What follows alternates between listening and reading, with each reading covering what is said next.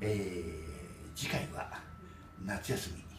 えー、寒空裸との二人会でございます、えー、もう私が一番、えー、好きな、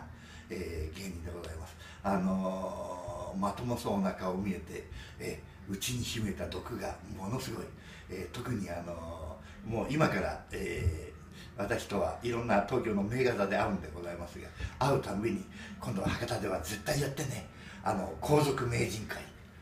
あの皇太子殿下と、えー、秋篠宮殿下が兄弟漫才をするという、えー、超危ないネタを持っておりますんでねそれをぜひ博多の皆さんの前でえ、えー、披露していただきたいと思っております。え、えー、ブラック寒空裸ともに危ないえ、えー、夏休みの二人会どうぞお楽しみにお待ちしております。